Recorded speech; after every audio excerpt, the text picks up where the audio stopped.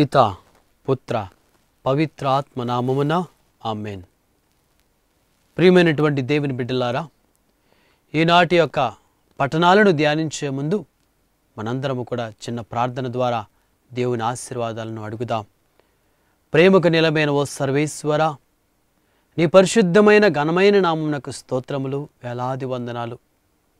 ప్రభువా నీ వాక్యాన్ని బోధించేటటువంటి నీ సేవకుడైన నన్నును వాక్యాన్ని వినబోతున్న నీ బిడ్డలను కూడా దీవించమని నజరైడు సేత సేద పరిశుద్ధమైన నామములో అడిగి ప్రార్థిస్తూ పొందుకుంటున్నాము. పరమ తండ్రి ఆమెన్.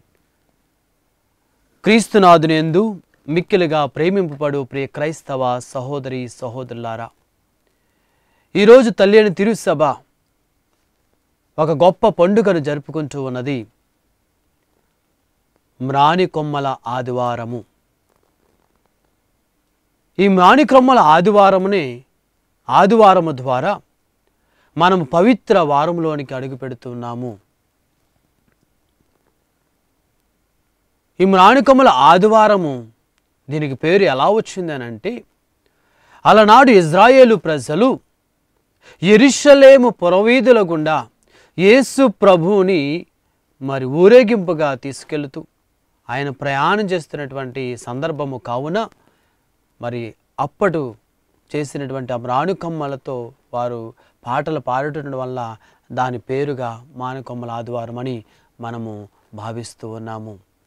అయితే మరి ఈరోజు తిరుసభ మనకు మరి ఎటువంటి పట్టణాలు ఇస్తూ ఉందంటే యష్యా గ్రంథము యాభైవ అధ్యాయము నాలుగు నుంచి ఏడు వచనాలు మరి రెండవ పట్టణముగా ఫిలిపులకు రాసిన లేక రెండవ అధ్యాయము ఆరు నుంచి పదకొండు వచనాలు మరియు సువిశేష పట్టణముగా మత్తయి సువిశేషం ఇరవై ఆరు పద్నాలుగు నుంచి ఇరవై ఏడు వచనాలు మనము చూస్తూ ఉన్నాము. మరి ఈ మా మూడు పట్టణాల ద్వారా దేవుడు మనకు మరి గొప్ప సందేశాన్ని ఇవ్వబోతూ ఉన్నాడు ప్రియమైనటువంటి దేవుని బిడ్డలారా. అయితే ఏం రాణికొమ్మల ఆదివారం రోజున మనం ధ్యానించేటటువంటి నాలుగు మరి అంశాలను మీ ముందు ఉంచబోతూ ఉన్నాము. మొదటిగా యేసు ప్రభు దేవుని కుమారుడై ఉండి ఒక సాధారణమైనటువంటి గాడిద పిల్ల మీద ప్రయాణం చేశారని మనం వింటూ ఉన్నాం. దాన్ని మనం చూస్తూ ఉన్నాము. జకరియా గ్రంథము తొమ్మిదవ అధ్యాయం తొమ్మిదవ వచనంలో అలనాడు జకరియా ప్రవక్త ప్రభువు గురించి ప్రవచనాన్ని చెప్పాడు. రాబోతున్నటువంటి రోజుల్లో యేసు ప్రభు గాడిద పిల్ల మీద ప్రయాణం చేయను అని రాయబడి ఉన్నది. దానికి అనుకూలంగానే యేసు ప్రభు గాడిద పిల్ల మీద వెళ్ళాడని మనం వింటూ ఉన్నాం. ఈ గాడిద పిల్ల మనం ధ్యానించేటప్పుడు ఈ గాడిద అనేది మనకు ఒక తగ్గింపు జీవితానికి ఆదర్శంగా ఉన్నది. చూడండి ఈరోజు ఈనాటి ఈ రోజుల్లో రాజులను చూస్తే వారు ఎన్నుకునేది ఒక గుర్రాన్ని ఎన్నుకుంటారు. వారు యుద్ధానికి వెళుతున్నప్పుడు గుర్రం మీద వెళతారు. వారు యుద్ధానికి వెళ్ళి గుర్రం గుర్రంతో పాటు వెళ్ళి ఆ యొక్క యుద్ధంలో విజయాన్ని పొందుకొని సంతోషంతో మళ్ళా ఆ గుర్రం మీద వస్తూ ఉంటారు. ఎవరైనా మనం చూస్తే మంచిగా మంచి జంతువును ఖరీదైన జంతువును బలమైన జంతువును వారు యుద్ధానికి వాడతారు ఈనాటి రాజులు. కానీ మన రాజైనటువంటి యేసు ప్రభు మాత్రం ఎవ్వరు కూడా గుర్తింపలేనిగా ఉన్నటువంటి జంతువు ఎవరికి పనికిరానిటువంటి జంతువు అదే మనం చూస్తున్న మార్క్స్ విశేషం పదకొండవ అధ్యాయంలో మనం చదివితే కనుక అక్కడ యేసుప్రభు తన శిష్యులతో చెప్తూ ఉన్నటువంటి మాట మనం ధ్యానిద్దాం. అక్కడ అంటూ ఉన్నాడు అయ్యా అక్కడ ఎవ్వరి చేత వాడబడిన వాడనటువంటి ఆ జంతువు గాడిద పిల్లను మీరు విప్పుకుని రండి అన్నాడు. అంటే ఎవ్వరి చేత వాడబడినటువంటి జంతువును యేసు ప్రభు వాడాడు. ధనవంతులు రాజులందరూ కూడా మరి గుర్రాలను మంచి జంతువులను ఖరీదైనటువంటి జంతువులను వాడితే మన యేసు ప్రభు ఒక సాధారణమైనటువంటి మరి ఒక జంతువును తన ప్రయాణం కోసం ఎంచుకుంటూ ఉన్నాడు. దాని అర్థము ఆయన దేవుడయుండు కూడా తనను తను తగ్గించుకొని ఒక సామాన్యుడిలాగా మారిపోయాడు. అదే మనం ఈరోజు మరి రెండవ పట్టణంలో పునీత పౌలు చెప్తున్నాం మనం వింటూ ఉన్నాం. ఫిలిపులకు రాసిన లేక రెండవ అధ్యాయము ఆరు నుంచి పదకొండు వచ్చినాల్లో అక్కడ పునీత పౌలు చెప్తున్నాడు యేసు ప్రభు తనను తాను తగ్గించుకొని ఉన్నాడు. తనను తను రిక్తిని చేసుకుని దేవుడై కుమారుడై ఉండి కూడా తగ్గింపు జీవితాన్ని జీవించాడు. సిలువ మరణము వరకు కూడా తగ్గింపు జీవితాన్ని జీవించారని మనకు తెలియపరుస్తున్నాడు ప్రియమైనటువంటి దేవుని బిడ్డలారా. మరి రెండవదిగా మనం చూస్తే అలనాడు ఇజ్రాయలి ప్రజలు ప్రభువుకు ముందు వెనకాల కూడా వాళ్ళ చేతులలో నాణికొమ్మలను పట్టుకొని హోసన్న గీతాలను పాడుతూ ఉన్నారు. దాని అర్థము ఈ మ్రాణికొమ్మ అనేది మనకు విజయానికి సాంకేతంగా విజయానికి గుర్తుగా ఉన్నది. ఎవరు ఎవరి మీద విజయం కోసము వారు పాటలు పాడుతున్నారంటే యేసు ప్రభు రాబోతున్నటువంటి రోజుల్లో ఆయన శిలువ మర మరణము ద్వారా మరణంపై జయాన్ని పొంది మనకు రక్షణ ఇచ్చేవాడుగా ఉన్నాడనేటువంటి ఆ సంతోషంతో ఇజ్రాయిల్ ప్రజలు వారి చేతుల్లో మ్రాణికొమ్మలు పట్టుకొని ఓసన్న గీతాలను సంతోషంతో పాడడం మనం చూస్తూ ఉన్నాం. మరి మూడవది అలనాడి ప్రజలు ప్రభు వస్తూ ఉండగా ఆయన ముందు వస్త్రాలను పరిచారని చూస్తూ ఉన్నాం. వస్త్రాలు ఇవ్వటం అనేది గౌరవ సూచకంగా చూస్తూ ఉన్నాం. మరి పెద్దవారికి కానివ్వండి ధనవంతులు కానివ్వండి ఉన్నత స్థాయిలో ఉన్నవారు కానివ్వండి వారికి మనం ఏం చేస్తాం? గౌరవ సూచకంగా వారు వచ్చినప్పుడు వారికి పూలగుచ్చాలు ఇవ్వటం వారికి మెడలో దండలు వేయటం వారికి సాల్వాలు కప్పటం వారు వస్తున్నప్పుడు కార్పెట్స్ వేయటం ఇవి మనం చేస్తాం. ఇవన్నీ కూడా వారిని గౌరవిస్తూ ఉన్నట్లుగా చేస్తాం.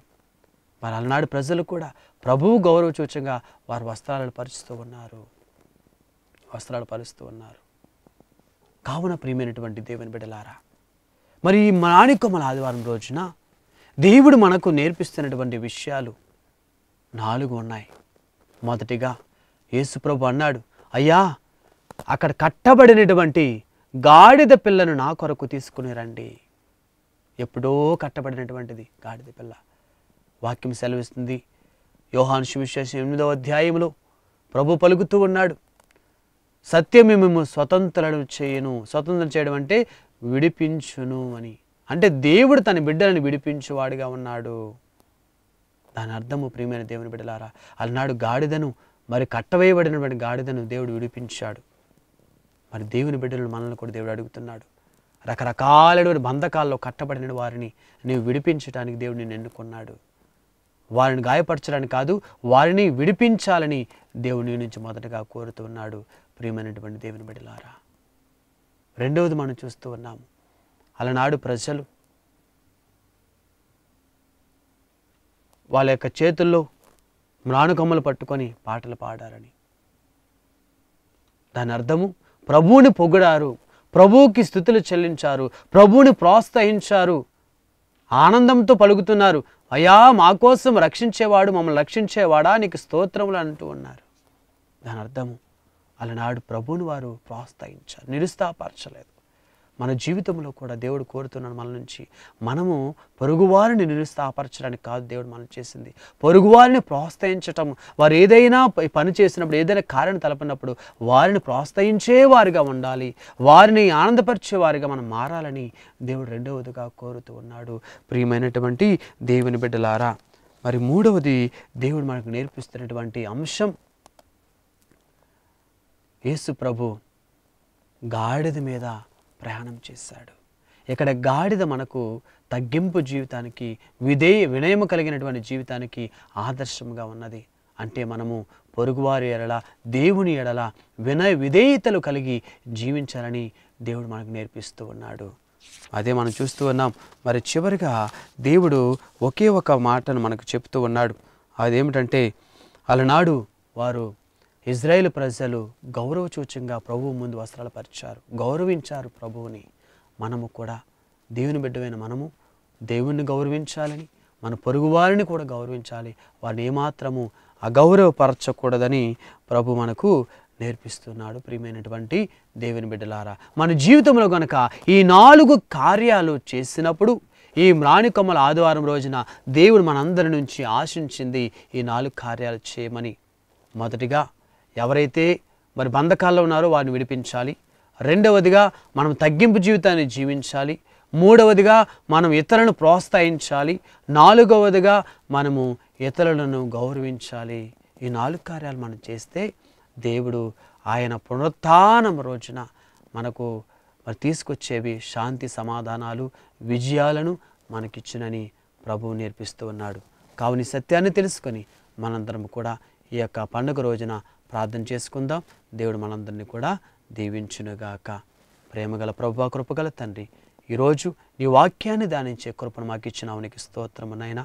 ఈ వాక్యం ద్వారా అయా మేము ధ్యానించేటటువంటి అంశాలను మా యొక్క జీవితాల్లో పాటించే కృపను దయచేయమని ఏసు అతి పరిశుద్ధమైన నామంలో ప్రార్థిస్తూ పొందుకుంటున్నాము. పరమ తండ్రి ఆమెన్ ఆమెన్ ఆమెన్.